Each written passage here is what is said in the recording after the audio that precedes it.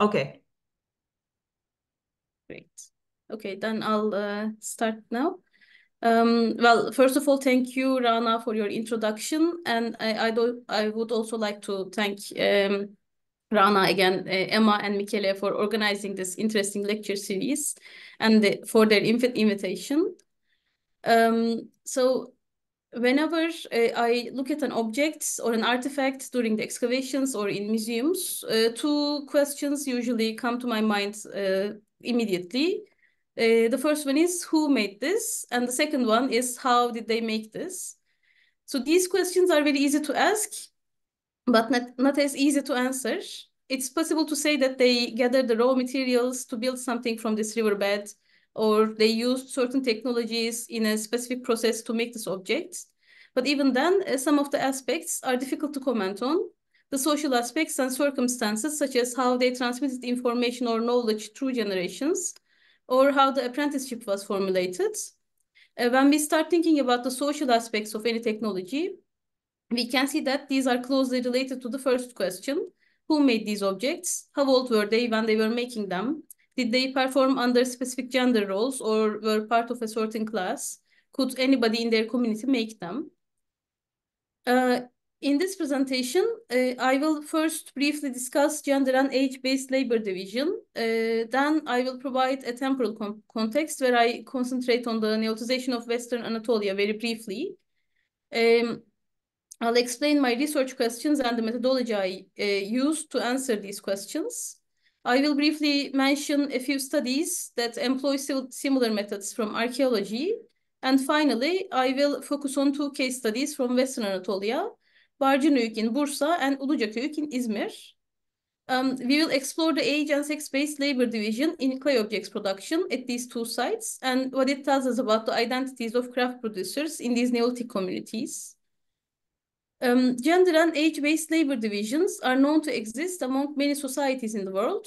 Ethnographic research, such as the one done by Murdock and Provost in 1970s, shows that tasks and activities were assigned to either males or females, but very rarely to both genders at the same time in pre-industrial societies. Um, while the nature of these gender-based tasks depends on which community a person lives in, when data from all societies are combined, um, almost all tasks could be associated with either gender. Yet, if we zoom in on a single community, a clear gender-based task differentiation is present at all times. Um, when it comes to age, uh, cross-cultural ethnographic research on childhood and labor suggested that children younger than six rarely had any responsibilities, but those over 10 years old performed most tasks adults did in their societies. Children between 6 and 10 years old, on the other hand, had the most versatile results as they were active contributors to the economy in some societies, but not so much in others. Uh, moreover, the gender of the child determined what kind of work they did because they usually performed activities linked to their adult counterparts. And recent research has become even more convincing in showing that no universal gender divisions in craft production exists. Gender and age seems to be the primary factors in deciding what kind, who does what kind of work in kin-based societies, although the types of work might differ from culture to culture. So in this research, uh, I aim to understand whether there is a gender and age-based labor division in the production of clay objects at Barcınöyük and Ulucak, and try to understand how ideas and ceramic technologies were transmitted from one generation to the next, and uh, on the slide, you can see my research questions. So they are how was labor organized and how was labor division in clay object production formulated in the 7th and early 6th millennia? Who were the communities of clay object makers? Did specific groups of people such as children, adolescents, adults, females or males do certain activities or refrained from participating in them? And uh, how were gender ideals, ideas and technologies in relation to clay objects transmitted in this time period. I focus on uh, these two sites uh, that you can see here on the slides um, in Western Anatolia. Uh, so the earliest occupation levels at these uh, two sites date to the first half of the 7th millennium BCE. Um, now, if I uh, I'll first briefly um, introduce Barcın and then I'll move on to Ulucak. uh, but this will be like very basic, very short introduction. Uh, the Neolithic occupation at Barcın Höyük dates between 6,600 to 6,000 BCE. And during the earlier occupation, until approximately 6,200 BCE, the settlement had a distinct pattern where houses were built uh, with uh, adjacent or shared walls, like the ones you see here on the top. Um, and uh, they um, they were uh, built, uh, the buildings were built on top of each other over centuries. Um, and these houses shared a common courtyard um, as well. And this tightly knit building model was later abandoned and freestanding houses were built after 6200 BCE. And one of them you can see in the lower half. And these buildings were built uh, also uh, in the courtyard areas. And despite the discontinuity in the building traditions, the material culture at the site remains unchanged. And still this sort of change might have marked a cultural break from the previous continuity. And the second site uh, I will be focusing on and comparing with Barcın in this lecture is Ulucak in Izmir. Ulucak also went through changes in, their, in its material culture. Um, and the earlier occupation layers um, um, until approximately um, 6200 BCE um, does not have really very extensive architecture, uh, apart from a couple of uh, buildings um, that you can see here uh, in the occupation phases. Um, and also the number of uh, clay finds uh, in these earlier levels are very limited. And the buildings in the occupation layers between 6,200 200 and 6000 BCE, so the top two layers you see here, were the most informative.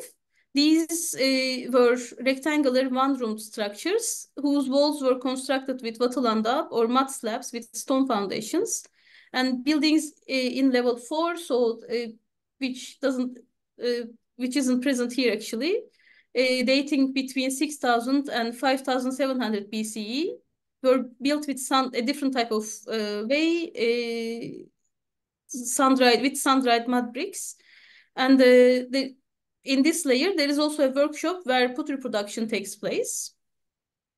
Um, so when we look at both sides, we don't really see the typical components of the Neolithic material culture, such as clay figurines, sling missiles, polished stone axes, or bone spoons. And pottery is almost non-existent in their very basic, like the, the prime, like the first initial layers. But uh, shortly after, shortly after the early settlement phases, uh, this seems to change and the material assemblages become more numerous with more variety through time. And this probably reflected the Neolithic mentality in this region. Um, the sudden uh, increase in material culture might be related to the emergence of new traditions and the increase in social interaction between settlements.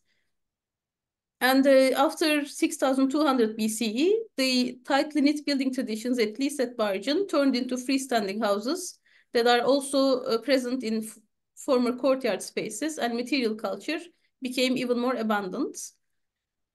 Uh, the time period I focus on is very broad, so I want to understand uh, whether labor organization also changed through time at these sites I examine. So I divided the data into four based on their contextual information that uh, here at the bottom you can see the, the four phases that I uh, divided up. Um, so these divisions are not arbitrary, but reflect uh, some changes in the settlement organizations, as I mentioned before. Um, so before I move on to answering my research questions, I'd like to introduce the method methodology I used. Uh, to understand labor division, I used a particular fingerprint measurement methods in my research.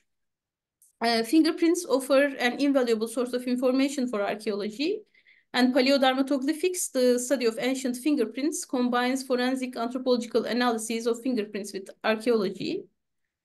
Um, once investigated thoroughly and with a large enough sample, it's, it's possible to estimate sex and age, investigate on-site specialization, and do chronological matching if matching sets of fingerprints can be found. Uh, clay is especially useful in retaining imprints because it's very easy to leave traces, traces on clay when it's wet. And after it's dried and baked, clay becomes chemically stable and our fingerprints become permanent. Um, fingerprints on archaeological objects are usually left by accident, uh, and these objects were subjected to environmental conditions over a very long time. So they are usually uh, not very well, preserved and fragmentary. Moreover, uh, when a clay object dry, uh, dries it's, and it's fired, it loses its water and shrinks, simultaneously shrinking any fingerprints left on them. Uh, so it's important to consider how much uh, the clay shrinks when we compare fingerprints left on clay with those from modern populations. Um, paleodermatoglyphics is a growing subfield in archaeological sciences. Um, while ancient fingerprints attracted attention only sporadically in the 20th century, researchers have been developing new ways to analyze and interpret archaeological fingerprints, especially in the last two decades. Uh, now I'd like to uh, show you how mm, paleodermatoglyphics has been used in archaeology recently. Um, and I'll only talk about like three examples, but there are many, many more. so my first example is about matching fingerprints. Uh, Lichtenberger and Moran identified many fingerprints on oil lamps uh, from a late Roman pottery workshop uh, in Beit Natif in Israel. Um, they were able to find the same fingerprint on, on an, uh, with an arch pattern that you can see here at the bottom of the image. Um, on multiple oil lamps uh, and uh, they the, these fingerprints were located on the same spot in the same position. So their results showed that these lamps were made by the same individual and they also provide us with an important information about how the production process of the about the production process of these lamps. Um, based on the location of the fingerprint, the researchers proposed that the maker was holding the mold with his uh, left hand and pressing the clay into the mold with his right hand. Um, so my second example involves age uh, um, divisions. Um, so Forte and Miniaci's recent work on figurines from Lahun village in ancient Egypt focused on determining the age range of individuals who made these objects. Um, the surface of uh, some of these figurines uh, uh, were not really well finished or smooth, which led to previous interpretations to associate, it, associate them with children. Their analyses, however, showed that adolescents and adults made the majority of the figurines. Yet uh, there were also some child uh, there were also some child prints on a few uh, animal figurines. So uh, they proposed that making figurines was an activity done by adult or older adolescents. Uh, and the animal figurines that were made by children might have been toys, their way of contribution to the production, or a way for these children to imitate what the adults were making. And uh, Another study worth mentioning here is uh, from Anatolia. Uh, it's done by Lucy Bennison-Chapman and Lori Hager, and they recorded fingerprints with reflectance transformation imaging from the pre-pottery Neolithic site of Boncuklu Höyük in order to understand the nature of labor division at the site. Um, their uh, study uses uh, different methods uh, called mean ridge density for sex estimations and out of 50 di diagnostic artifacts, most yielded fingerprints probably belonging to adult females, while some belong to adult males, and one print belonged to a child. Uh, their analysis showed, showed that uh, the clay production was an adult activity without much contribution from children. Moreover, um, clay object production was probably a female activity, which suggests that there was a sex-based labor division at Boncuklu in the production of clay objects. Um, but here I need to point out that the, the method they used did not take the clay shrinkage into account, so their results are slightly skewed towards younger individuals and females. This makes it even more surprising to see that there was only one child print in the assemblage actually. And there are also quite a few uh, newly developed mixed models, but uh, but I, won't be able to go go into details about them. But if you want, I can email you uh, the references if you have if you want to read more about them. Uh, I would like to now uh, talk about my own research. Um, so I examined a total of uh, 537 clay finds from Barcın Höyük. 103 of these, so 19%, yielded 250 partial fingerprints in total. And this is actually quite a high percentage, much higher, higher than uh, the other sites I've worked at. Uh, and in comparison, out of the 1,195 clay objects from Ulucak, only 88, so 7% yielded 273 partial fingerprints. Um, among the objects I examined are sling missiles, human and animal figurines, tokens, pottery-related objects, and some unidentified or miscellaneous objects. In addition, I also examined a few hundred pottery shards from the Neolithic occupation layers at both sites, but these are excluded from the final count I gave above. Uh, the reason is that those from Barcın did not re retain any proper fingerprints, and uh, most of those that yielded prints from Ulucak were unfinished pottery shards. So um, I divided the data into four, uh, as I mentioned before.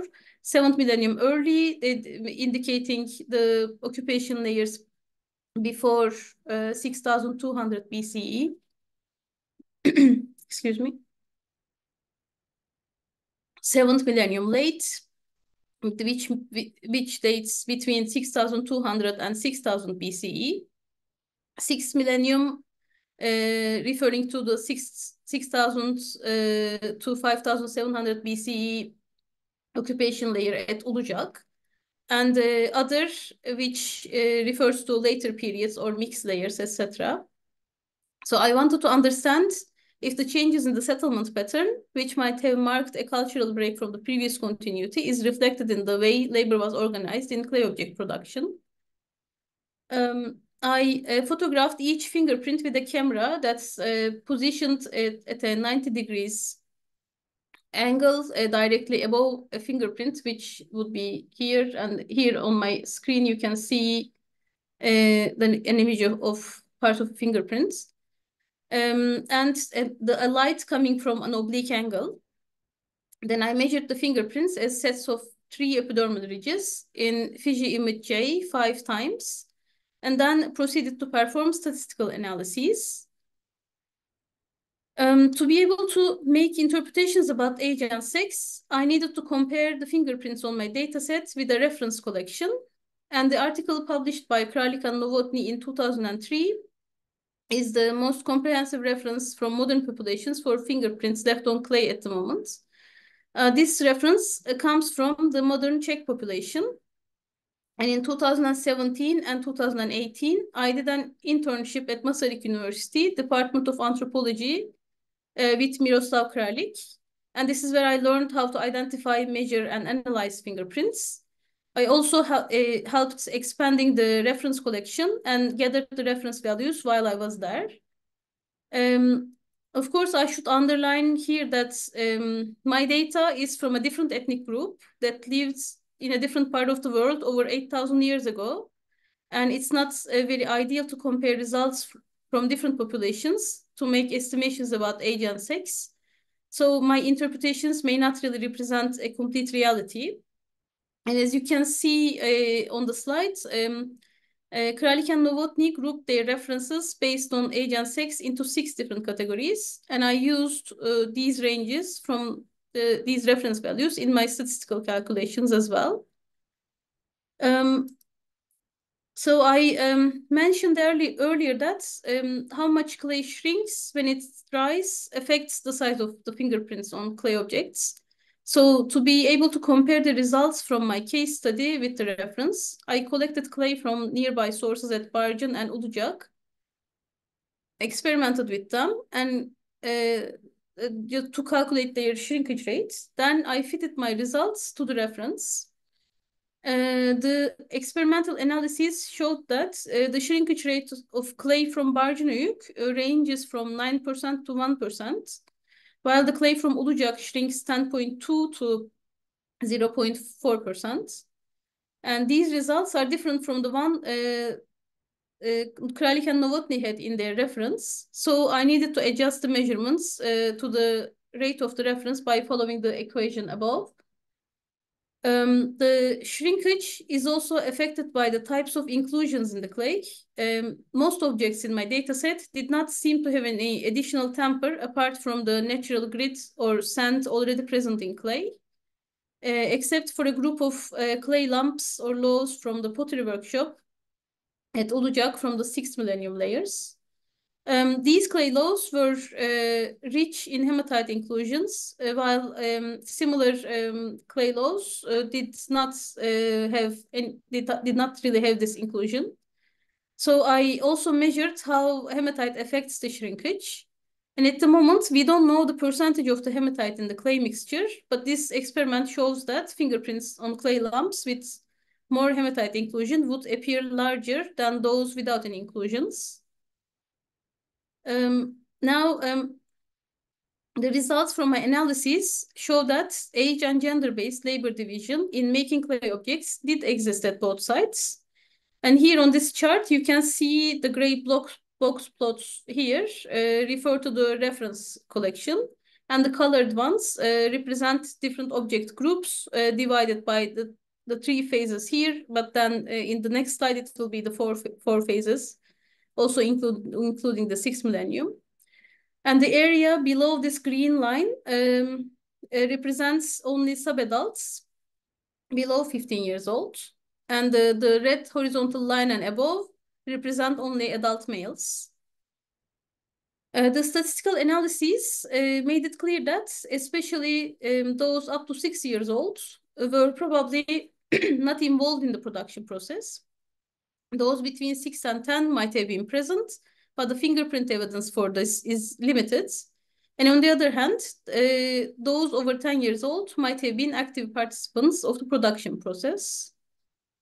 Um, the results from Ulucak also point to a similar picture. We do not really see the involvement of children up to six years old, um, yet those between 6 and 10 might have participated uh, in making some of the objects, such as animal figurines. Uh, however, adolescents uh, show the best match, suggesting that they were probably active makers of most object types. Uh, the limited presence of children below 10 years old uh, point to either an actual absence of young children in the communities of producers because they needed to be old enough to start making these. But it might also be a preservation issue. They might have been uh, working in these areas and playing with clay, but the, the things they made were not fired or were not preserved over the millennia. It's not uncommon for potters to recycle the unsuccessful attempts because you can turn dried and hardened clay back into moldable plastic clay as, don't, as long as you don't fire it uh, we might be able to suggest that uh, the lack of young children in clay object production in this region was probably uh, possibly related to the concept of childhood or the assumed responsibilities of children at various stages of their lives. Uh, while very young children up to six years old were not involved in making clay objects, they might have been taking up more responsibilities as they grew older in and around the production areas. they might have started learning special skills and know-how uh, when they were older, perhaps after they were six or seven years old, and developed their skills until they were considered old enough after about 10 years old when they would take up uh, even more responsibilities. Here, I need to point out that uh, figurines, um, anthropomorphic figurines from the late 7th millennium con uh, contexts and unidentifiable figurines from Barcın uh, uh, also, uh, animal figurines at Ulucak uh, are the ones that might have been made by children between 6 and 10. This, I believe, is partially due to the fact that the mean epidermal ridge breadth of children in this age group partially overlaps with ad adolescents. But even then, it shows that uh, the fingerprints found on figurines are smaller than uh, on those on some of the other object types, especially sling missiles and vessel-related objects. So these uh, figurines perhaps uh, might have been made by younger adolescents uh, uh or uh, children for a different purpose, uh, perhaps as a toy or just to play, perhaps for other functions. And these results are in line with the cross-cultural studies about childhood, uh, our current knowledge of the rites of passage, life cycle rituals, and at what age people were considered to be adults in Western Anatolia in the Neolithic period is fairly limited. It's possible, uh, perhaps, uh, to imagine a change in the way they were seen by the society when they reached puberty in their early teens. Um, although the research is still ongoing, uh, burials from Barcın Höyük further illustrate a social differentiation in terms of age at the site. While ne neonates and infants were buried in, in the um, inside houses, perhaps after the abandonment of these buildings, children were buried in the annex area uh, in front of the houses, uh, and adults were buried in the courtyard. So this differentiation might be a symbolic representation of the liminal nature of children and childhood, at least for the Barcın community.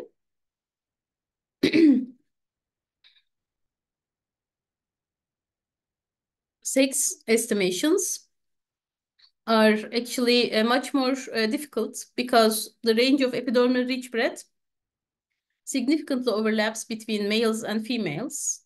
And here uh, on the slide, you can see the post hoc results uh, of the object types I used to compare with adult and adolescent males and females uh, from uh, Barcın. And here, uh, those highlighted green matches well with the reference group, um, while uh, hi those highlighted in reds uh, were definitely not made by the group compared. So if we look at the results from Barcın here on the slides, it seems as if uh, fe females uh, might have uh, been the makers of all object types. Uh, here you see uh, adult females above 15 years old, and here you see um, females between 10 and 15 years old. Um, uh, but um, if so it might be possible to clay, consider clay object production uh, as a female activity at this site. But if that was the case, uh, it's not surprising to see adolescent and adult females doing similar types of work at Barcın. Uh, so the method methodology I, I used in this analysis cannot really differentiate a male and a female fingerprint with certainty by only looking at the mean epidermal ridge breadth in most cases. Uh, just like the size of an adolescent male hand is usually somewhere between an adult and an adolescent females, the means of their fingerprint measurements also tend to overlap with those of younger and older females. So um, uh, this is this is the case here, uh, and also here uh, you can see that uh, in the reference collection, uh, the mean epidermal ridge breadth, so the, uh, the, the, the, mean of the distance between the, the fingerprint marks um, of adolescent males is actually somewhere between adolescent females and adult females. Uh, so um, even if only fingerprints of um, females, adolescent and adult females, were present on these objects, uh, they would overlap with parts of the adolescent males in the reference collection, creating a false positive for their presence. But that being said, we cannot really completely rule out the presence of adolescent males in the production process based on this idea. Um, so um, sling missile production uh, is an interesting divergence from this uh, generalization. Uh, ethnographic research suggests that sling missiles were used for hunting, warfare, and herding animals. Uh, the standardization of sling missiles in terms of shape, form, and weight almost doubles the range of the slinger, while also making the slinger's job easier as they would not need to adjust their throw every time. Uh, slings are simple but portable, robust, and accurate tools with a good range. And males do not have an advantage over females in using slings because um, things are not limited by the weight or strength of the thrower. Uh, they are very lightweight and can be easily carried in a bag. Uh, they are, however, dependent on the aerodynamic properties of the missile to achieve a good range and accuracy, which requires some standardization. And all the sling missiles from Barcın, uh, here you can see uh, some of them in uh, some of some of the assemblage. Uh, they were all made in a similar way, uh, and these objects were not found in special caches or in special contexts, but appeared throughout the whole site. Um, fingerprints on sling missiles uh, seem to be different, uh, distinct uh, from the rest because they were probably only made by adults throughout the occupation. And uh, here on the slide, you can see that the seventh millennium contexts um, yielded similar results. Uh, I did not uh, take the other uh, context in, in account in this interpretation because that group represents mixed or later contexts.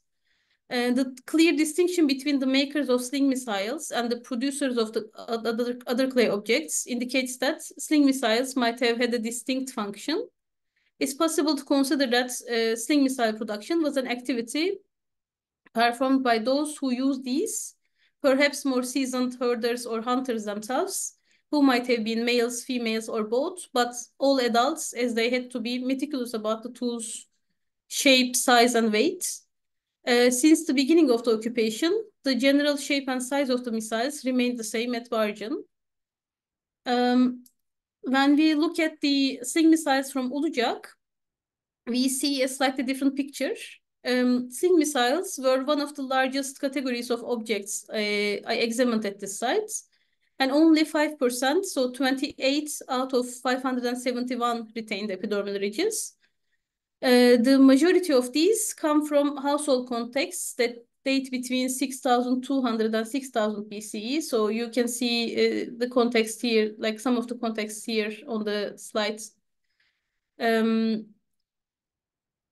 and um, here you can see, like maybe it's not very visible, but um, large quantities of sling missiles uh, were found in caches uh, in these two buildings. And um, most of uh, most of these uh, sling missiles uh, were very carefully smoothed, uh, like the ones here, uh, except for type 3. Um, they were carefully smoothed with a tool and um, after they were pre prepared. And this process uh, helped eliminate any fingerprints and turn the missiles into a properly biconical standardized object but still there were a few uh, which were not smoothed. Uh, and these were the ones that uh, actually had any fingerprints on them. Uh, these were more crudely made, uh, but in fact the idea was there, but they were clearly not finished. Um, but the unfinished ones were found together with the finished sling missiles in the same piles. And these appear to be made, these uh, unfinished ones appear to be made by adult females or adolescent males. Um, based on their context, production techniques, and the results from fingerprint analysis, we can uh, consider multiple possibilities about their production.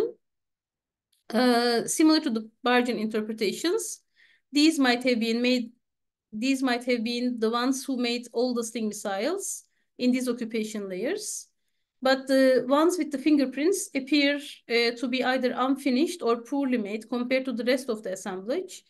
So most likely the ones with fingerprints were made by the same specialists, but these belong to an earlier step in the production process.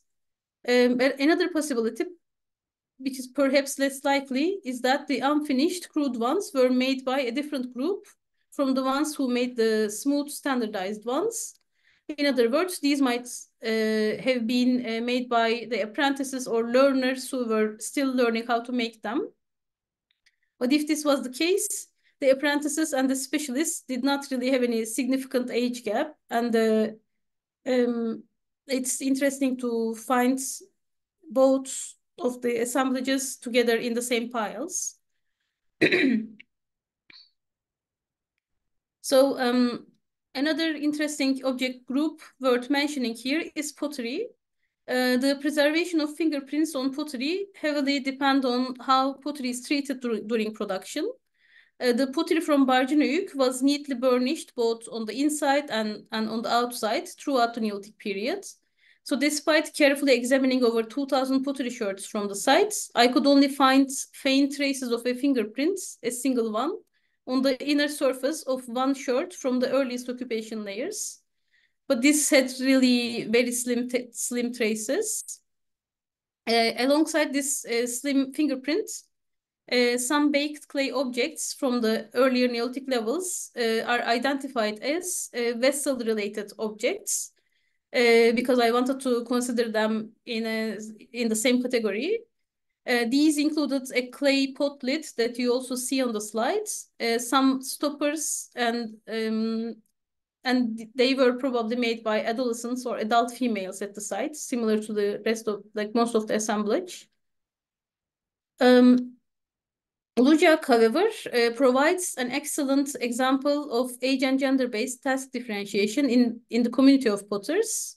A pottery workshop with multiple rooms was unearthed at Ulucak. At the bottom here, you can see uh, two of the rooms, but there are actually quite many more that are waiting to be published. Um, and this workshop dates to the beginning of the sixth millennium and is among the earliest specialized workshops from the Near East. Um, many kneaded clay lumps like the ones you see here, um, unfinished pottery like the ones you see below, uh, and tools and raw materials used in, in pottery production were found in these rooms. Um, unfinished coiling fragments and um, kneaded uh, clay lumps or loaves uh, were uh, rich, very rich in terms of fingerprints. And my analysis uh, showed that adults and adolescents of both sexes were probably involved in different steps of the production. But, but most notably is that uh, the clay lumps see, seem to be prepared and kneaded by adult males. So the, the, the ones you see at the top corner. Um, while the adult females uh, or adolescent males uh, formed the vessels and children were either completely excluded from the workshop or were in charge of peripheral tasks that did not include handling or making, uh, preparing clay. Uh, perhaps they were included in other ways. Uh, they might have been bringing fuel, fetching water, or collecting clay from clay sources. Um, this might have been a way for them to join the community of potters through legitimate peripheral participation. And this way they would be able to absorb and internalize the methods employed, employed by seasoned potters. Um, so to summarize, the analyses uh, showed that um, there was a sex and age-based labor division in clay object production in the Neolithic period at these two sites. The communities of producers were made up of adolescents and adults, and rarely young children between 6 and 10. Uh, different groups of people probably specialized in making specific types of objects at each site. Uh, apart from sling missiles, it might be possible to consider clay object production as a female activity at Barcın Höyük.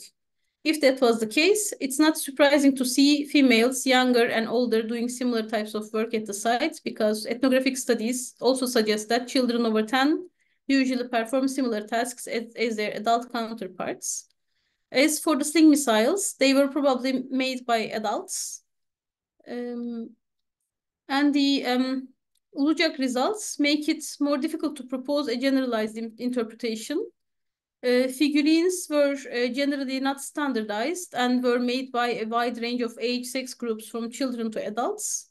Sling missiles were probably made by adolescent males or adult females, which probably represents an unfinished group of missiles at an earlier step of the production process. And pottery and the pottery-related objects point out that multiple interpretations are possible. Uh, the analysis showed that while adult, male, adult males prepared the clay for pottery making, adolescent males or adult females formed vessels uh, and children below 10 were excluded from excluded or per performed maybe other tasks at the workshops. Uh, so we can imagine that tasks were uh, divided by age and sex. Uh, and such gender-based task allocations are present also in ethnographic research from various parts of the world. But another possibility is seeing pottery production as a male gendered activity with adult males preparing the clay and adolescent males making the pots. As the um, actual task of uh, shaping vessels is one of the more difficult steps of pottery production. However, uh, one would ex expect the expert potters to perform this task rather than the apprentices. But um, perhaps the expert potters were uh, more careful about not leaving their fingerprints, uh, since the ones uh, I've seen uh, belong to unfinished vessels. These uh, might actually be just these might just belong to an apprentice potter. Um, so um, if gender identity is reinforced by uh, habitual actions and behaviors, Making clay objects might have been one of the ways to create and realize gender identities at these sites. The performance of making things out of clay might have also worked as a mechanism to transfer ideas and knowledge about gender ideals, as well as cultural and social information from one generation to the next. It's possible to imagine that older and younger individuals working on making these objects uh, together with the younger ones, uh, learning the ways of clay and the proper forms, of, forms and techniques from the older generation. This information might have uh, been transmitted within the household level or at the workshops in Ulucak through legitimate peripheral participation, where novices would not only learn about the technical methods for the production, but also internalize the acceptable forms and decorations for the society they live, with, they live in, within the social context of learning the production techniques. Um, so um, to conclude, um, clay was essential for the people in the Neolithic periods. It was used as building material, cooking pots, hunting gear, and many, many other big and small objects uh, necessary for their um, survival and culture. So uh, learning about the, their relationship with clay provides us uh, with a new lens into understanding their lives studying ancient fingerprints has tremendous potential in providing us with information about the production process of clay objects. It also guides us in making estimations about how labor division was organized in terms of age and sex in ancient populations. Uh, our knowledge of gender and age in Neolithic Anatolia is very limited due to lack of extensive or comprehensive research that ties strains of evidence related to these topics. And uh, further research will undoubtedly help to shed more light on the lives of these communities. And uh, thank you so much for your patience and uh, for attending this uh, lecture. Thank you.